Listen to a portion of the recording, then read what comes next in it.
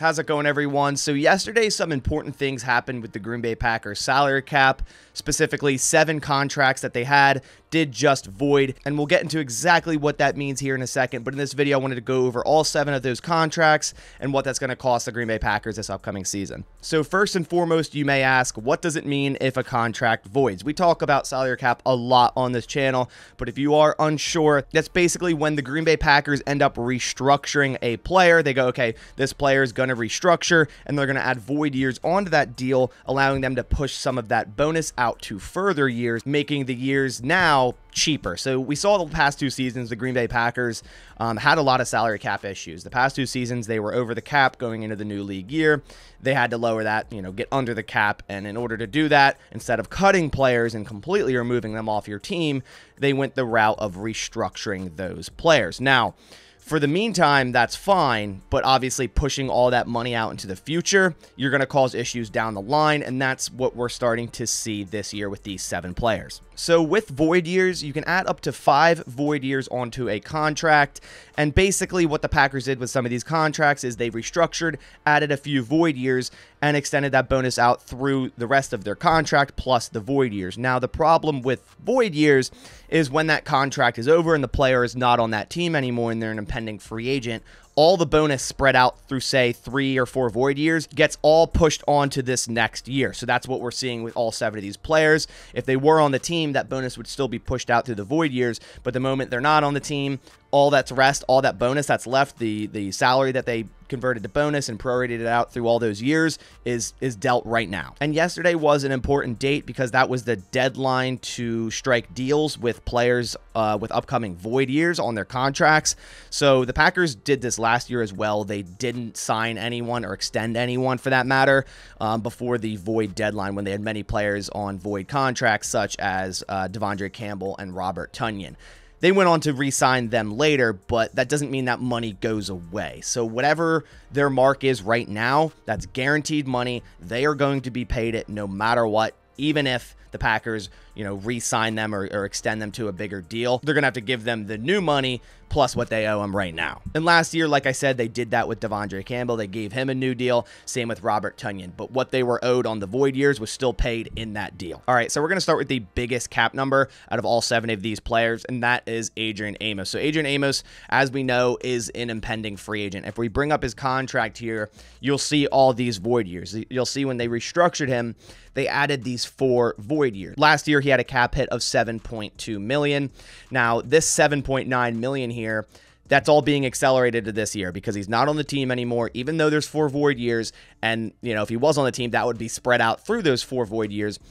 Now that he's not on the team, he's an impending free agent. The Packers have to pay that bonus that they pushed out and said, okay, we'll pay it later. This is the time. Now they have to pay it later. So, regardless if Adrian Amos is on the team or not, the Packers will be paying him $7.95 million off the salary cap this year. So you're going to be charged 3.5% of your salary cap for a player that's not even on the team. And that's kind of the problem uh, a lot of people have, and myself included, with doing so many restructures, especially when it's this much money. Because, yeah, sure, in the short term, you're going, oh, the Packers have so much cap space. Look what they can do. They still have all these players. They can go out and still trade for guys or sign guys.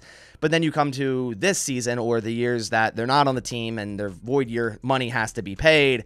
It's a lot of money. This is a higher cap hit since he's had the last two seasons when he actually was on the team. That 5.9 in 2021, 7.2 in 2022. So you're paying more money for him when he's not on the team. And again, this doesn't mean the Packers won't go and re sign Adrian Amos. Now, if they do that, then yes, if they sign him to a long term deal, a multi year deal, they could work and move that money around again, kind of do a, again, a booking thing, kind of making it cheaper for this year, pushing a little bit money out. Obviously, then you're just kind of rewriting the same thing that's happening right now. But if the Packers do want to bring back Adrian Amos, that's likely going to be what's going to happen. The next highest player on this list is defensive lineman Dean Lowry. As we see here last year against the cap, he was a $6.8 million cap charge. He has three void years added on his deal due to the restructures the past two seasons, and that charge this year is going to be three million, just over three million. So Dean Lowry, of course, an impending free agent. Now all that money that was pushed out into the void years has to be paid right now, three million dollars. I don't see the Packers re signing Dean Lowry. I see them going younger with their defensive line with TJ Slaton, Devonte Wyatt. I think both of those guys need more snaps. I could see them bringing back uh, Jarran Reed, who actually is the next player on this list, which we'll get into here in a second, over someone like Dean Lowry, or simply just drafting a couple defensive linemen in the draft. They do have 10 draft picks, or even signing another, you know, veteran free agent that could be cheaper. Now, obviously, they're still paying Dean Lowry no matter what. So they're going to be paying him $3 million for not being on the team. As I was saying, Jarran Reed is the next most expensive player. The Packers signed him to a one year deal in last year's free agency, but it was basically a one year deal with four void years, allowing them to push, you see, all this prorated bonus, the 373,000 out through those four void years. But now that he's an impending free agent and not on the team anymore, all of those 373,000s get accumulated into one, creating a $1.492 million cap charge in 2023. So last year when they signed him and you were looking at the contract, you're going, wow, that's really cheap for a nice veteran defensive lineman. He's only charged, he's only going to charge 1.758 against the cap. But, you know, he's charging nearly that again and they're not even going to have him on the team. Now, again, I could see them bringing back someone like Jarran Reed, uh, but same thing as Adrian Amos. If they were to extend him, they still owe him this $1.492 million. That does not go away. That would have to get added into his new deal. Then they can rework things based on that. The next player on this list is wide receiver Randall Cobb. He was signed through the 2022 season, and they added one void year, pushing $1.391 million out. So last year's cap hit, not that bad, 4.1 million. But again, all that bonus that they pushed out, they have to pay it. It's guaranteed money. It will never go away. So the cap charge for this season of Randall Cobb is 1.391 million and I don't see him coming back unless Aaron Rodgers is 100% coming back and that's a, contingency again, okay? I want my guys back on the team, which is kind of getting old to me. I think they need to go young at wide receiver. And and don't get me wrong, I love Randall Cobb. I love what everything he's given to this organization. I love him as a person.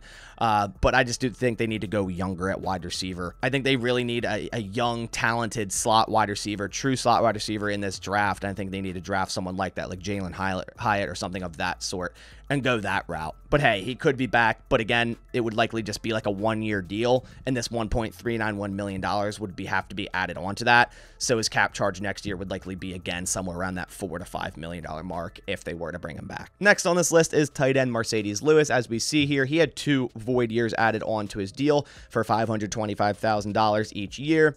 Now he's a free agent, so both void years combined into one for $1,050,000 here as a cap charge in 2023. I do see the Packers bringing back Marcedes Lewis. This one isn't that much of a big deal. Like, yeah, you owe him $1 million. I don't see his contract for one more year being that crazy. Uh, yeah, you'll have to add that 1 million on it, but still, when you're talking about this little bit of a cap charge, I mean, this is 0.5% of your total salary cap. So it's not that big of a deal. The main ones that are problems are the uh, Adrian Amos, mainly. That's by far the worst one. And also Dean Lowry. Um, I do see Marcedes Lewis potentially coming back regardless of Aaron Rodgers' decision. Um, I do think they still need this inline blocking tight end. They don't have another one on the roster. And would you want to, you know, bring in a rookie to do that job? Obviously, Marcedes Lewis does an excellent job at that. And I, there are some other free agents that you could replicate that role. But I think Marcedes Lewis also wants to beat the record for the longest tenured tight end in the NFL through 39 years old. So I do see the Packers bringing him back. But regardless, they're going to be paying $1 million. The second to last player on this list is Mason Crosby. As we can see here, he had three void years on his contract at $335,000 apiece.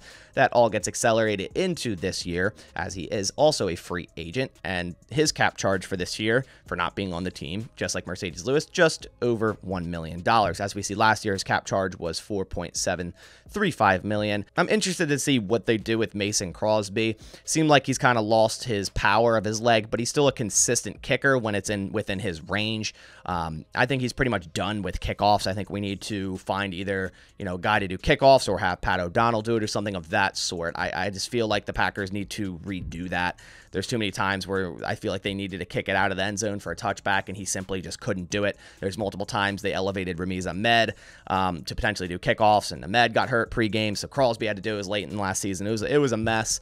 Um, you know, I, I, potentially see the Packers moving on and, and, and getting a younger kicker, maybe even drafting someone like Jake Moody there in the seventh round. Mason Crosby, 39 years old, not getting any younger. Love Silver Fox, the dude. So many, so many clutch moments in Green Bay, but they might just be better off going younger, getting another kicker. And obviously, there are going to be growing pains with that. But nonetheless, they're paying Mason Crosby a million dollars on the salary cap this year. All right, the last player on this list is tight end Robert Tonyan, and this one is very minuscule. It really doesn't matter too too much as we see here. He only has one void year on his deal.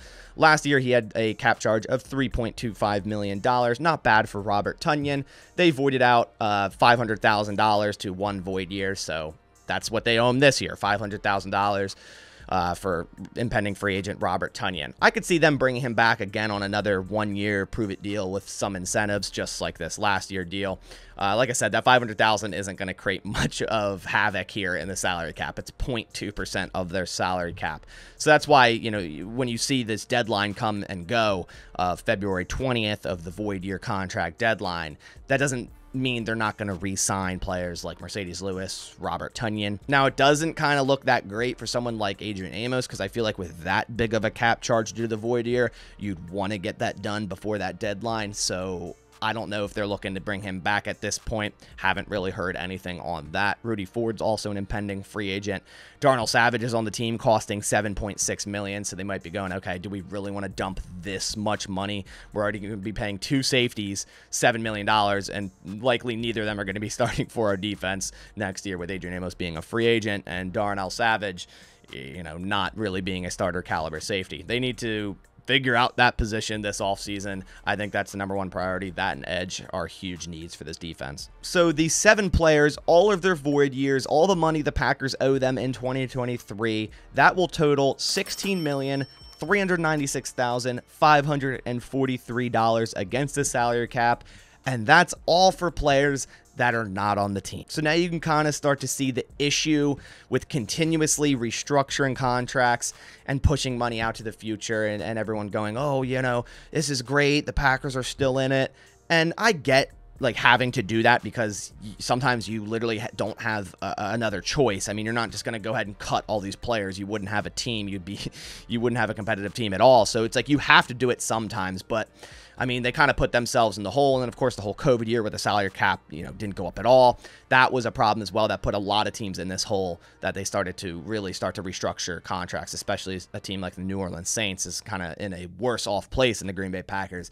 But nonetheless, you're looking at a 16 over 16 million dollar cap charge for these seven players that aren't going to be on your team as of right now. I mean, 16 million dollars, that's worth like a, a really good defender or or a really good wide receiver on your team if you were to go sign a new player player. But we'll see in the upcoming weeks slash months if they do decide to bring some of these players back. Obviously, I think they have a bigger task at hand with the whole Aaron Rodgers situation. But that about does it for this video. I hope you guys enjoyed. If you did, please leave a like down below. And if you are new to the channel, we go over Packers news analysis and updates every single day. Ton of salary cap stuff, draft stuff, free agency stuff, all of it here right on this channel. Go down, click subscribe. But I'll catch you on the next one. Thanks for watching, and as always, go Pack Go.